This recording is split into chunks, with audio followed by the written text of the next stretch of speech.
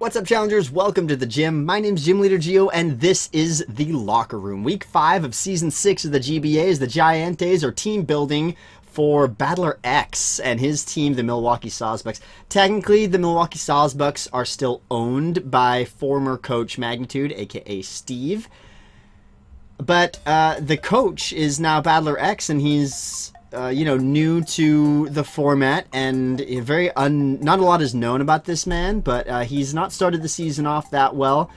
But I, whenever I see teams like that, listen, guys. I don't know if you guys remember me from the last two seasons. I started both seasons 0 and 3, and then both seasons I was a playoff contender, missing out only by differential. So, this starting off with not the greatest record doesn't mean anything in this format. He's made a lot of trades. His roster is nothing like what it was when he originally drafted it. He's made lots of moves, and I think it's been for the better in this case. So uh, we're going to talk about the two teams a little bit. Uh, let's start off by going over my 11. Uh, it's going to be really important to do this time because there's a change on the roster. That's right, ladies and gentlemen. Uh, I have the Entei, Manaphy, Nidoking, Zapdos, Cresselia, Mega Absol, Chesnaught, Regirock, Ditto, Mismagius, and the newcomer, Mr. Grand Bullington Jr. the Third. He's not actually going to be nicknamed that, guys. It's Granbull. Uh, I traded Miltank for Granbull. I don't want to go too deeply into this. Uh, there's I, I, ran a lot of calcs, and uh, in team building every single week, Miltank's kind of been getting pushed aside because the roles she fills aren't effective enough against my opponents with the team that I have. Uh, I, I, I have a lot of great power and risky setup potential that teams have a difficult time preparing for, and Miltank kind of kills all my momentum, uh, pretty much just to get up rocks or to get off a, a, a, a heal bell, just run a little cleric work.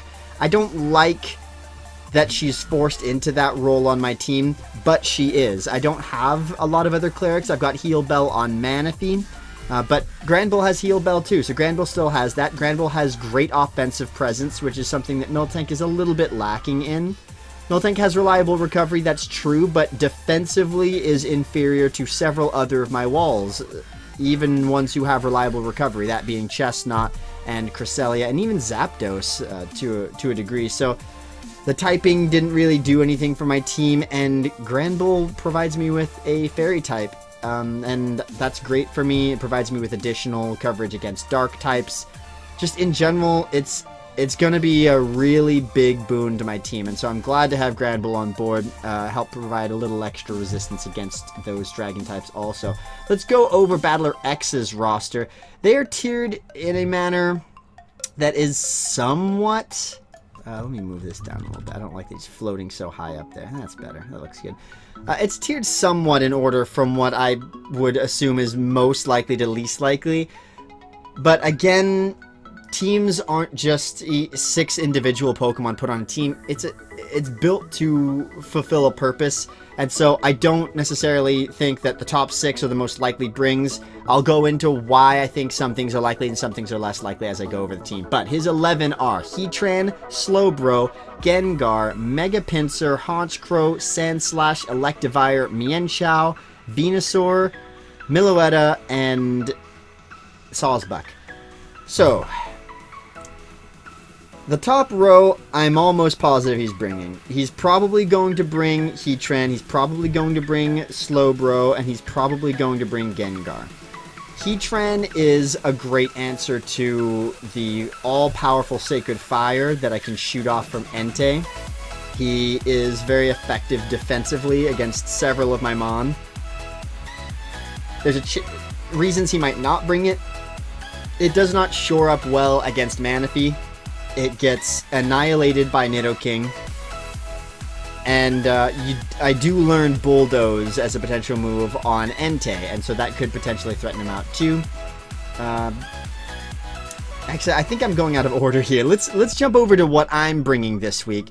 Uh, I am bringing Zap Zap the Zapdos, uh, DDG the Cresselia, Remix the Ditto, Absolutely the Absol, Decisions the Entei, and Prince the Nidoking. Now, uh, if you wanted to just fast forward this, you could go pause on every single one of those Mon and just kind of look over them yourself and just move on to the next one. Or you can listen to me kind of explain about these sets a little bit and we'll go over my thought process going into this game. So, Zap Zap is here as my primary stop check, uh, defensive switch into Mega Pinsir. It also provides me a decent switch into Haunch Honchkrow.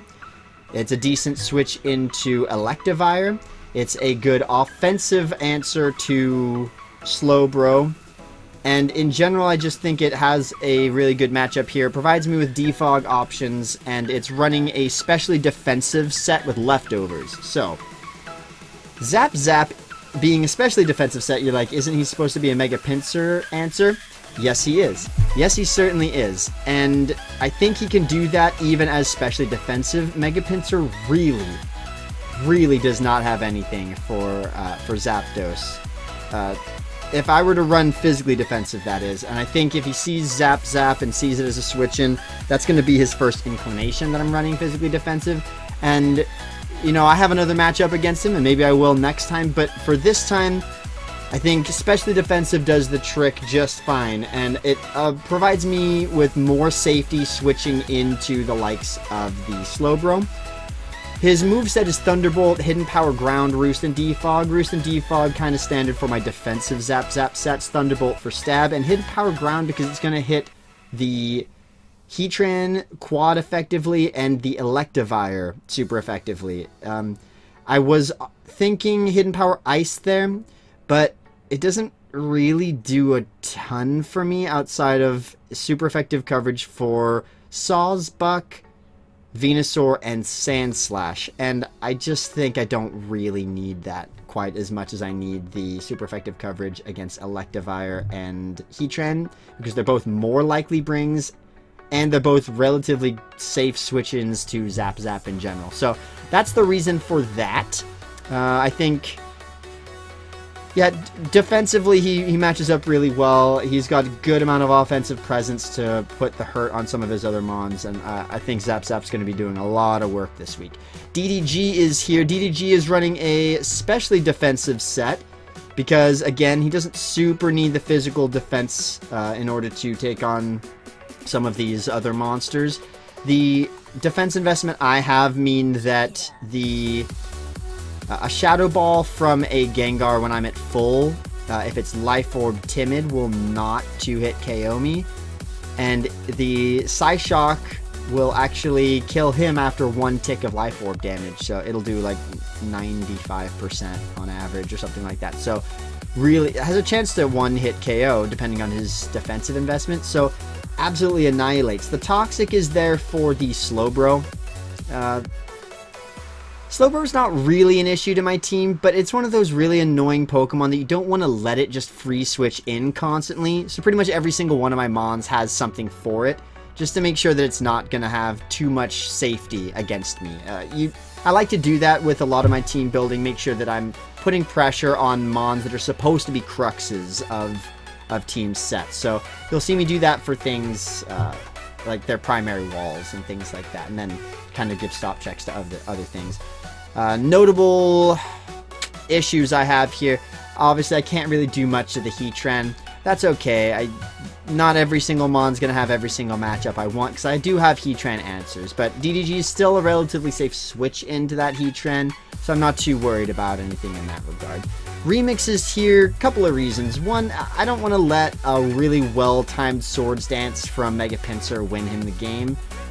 There are several other Mon who I would love to be able to revenge. Um, it's a safe switch into the Meloetta. Meloetta can't really do anything to itself.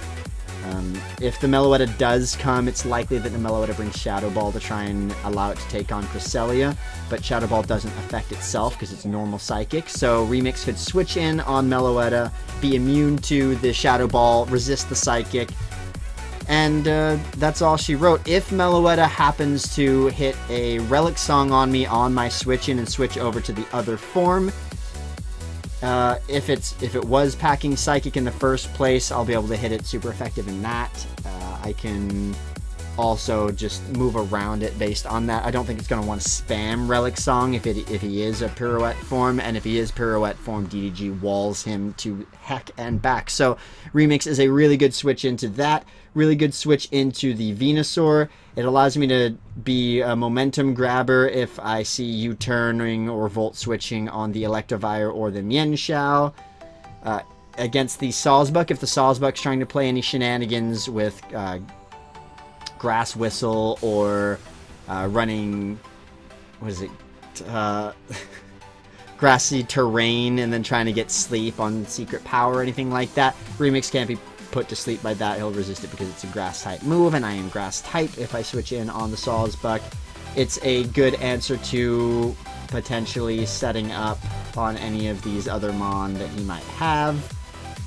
Uh, good switch into the Heatran, good switch into the Slowbro, who again, his stab can't hurt himself. And uh, a good Revenger for the Gengar. I just have to see whether or not that's a Scarfed Gengar right off the right on the get-go. Could be potentially Scarfed. Other potential Scarfers on his team, the Heatran. I mean, anything could be Scarfed, but realistically, the Heatran, the Gengar, maybe the Honchkrow, and the Electivire are the most likely Scarfers. I have seen Scarfed Mienshaos before, but I don't think it really serves much of a purpose for his team. If he brings Mian Mienshao, he's going to be bringing probably Reckless and um, trying to really punch holes with it. but Mienshao doesn't really uh, set up...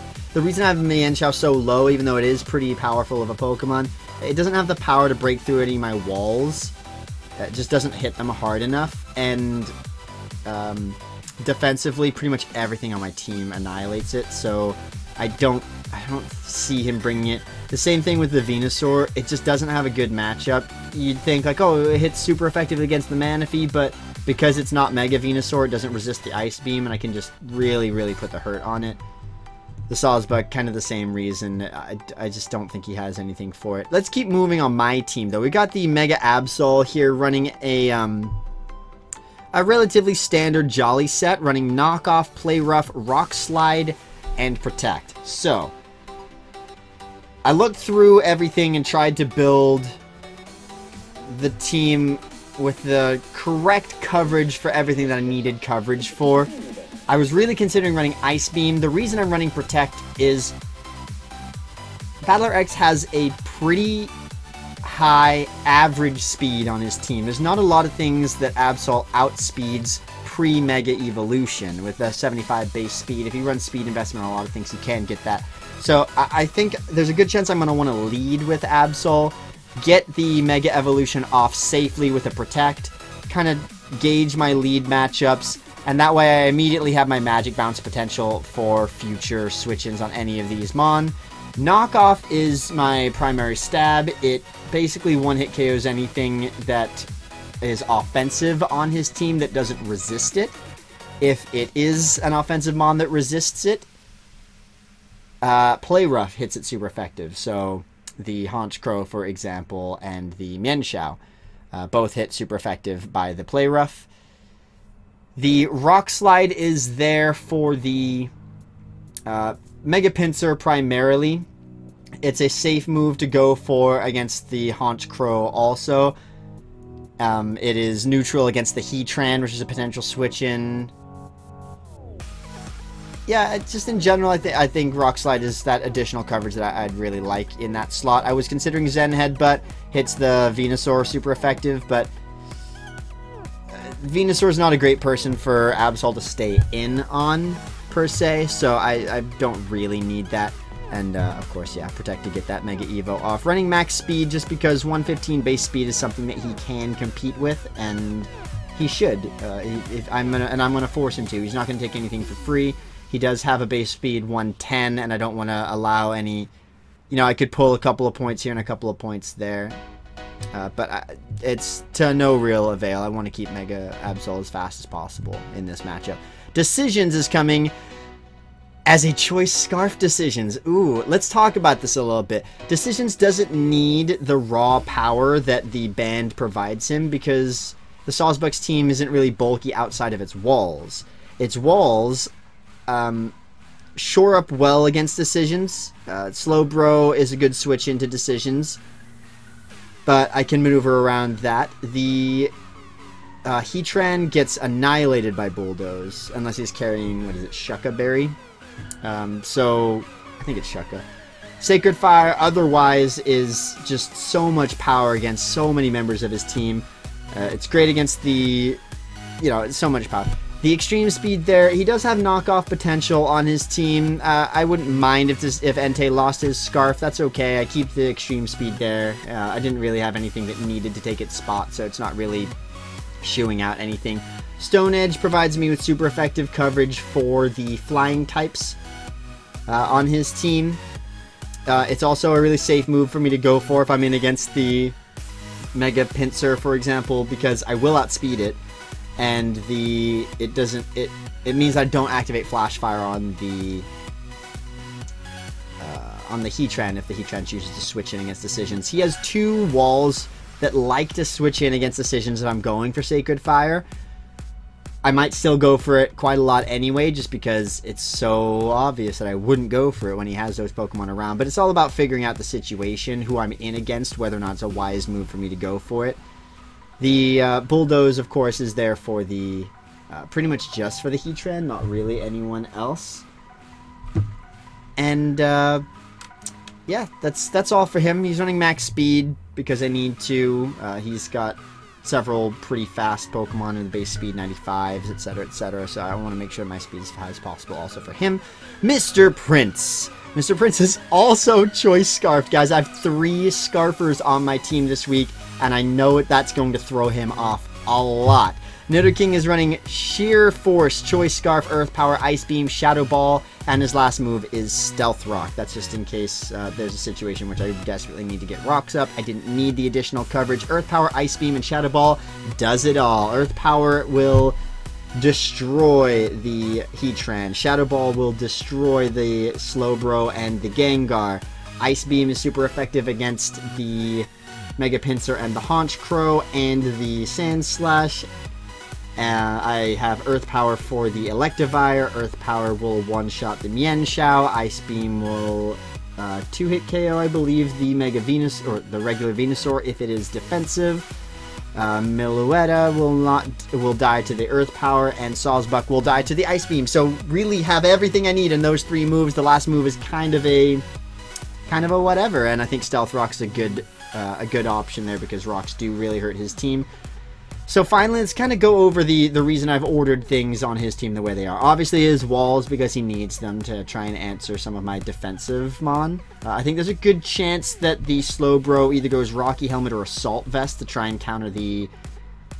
I guess the Manaphy or the... Just to provide me with a little bit of a safer against the uh, Entei, but I don't think Sacred Fire makes contact, so I don't know that he would go Rocky Helmet there. Maybe for the Absol, if he's predicting the Absol. Uh, the Gengar, I think, is coming. Probably he'll go Life Orb because he'll want to try and be able to take on the Cresselia, but there's a chance he goes... Um, there's a chance he goes Specs or Scarf. Uh, Gengar can really do anything. Um, Gengar's pretty powerful, but I do have answers on my team for it. Uh, a lot of offensive answers. It's not safe against a lot of my Pokemon. It has a difficult time coming in. Uh, it, it, really needs to catch me off guard, locked into the wrong move. Um, but it just He's got to play really intelligently and offensively with it for it to generate any kind of momentum, and I do have switch-ins for it, so he's got to be careful with that Gengar.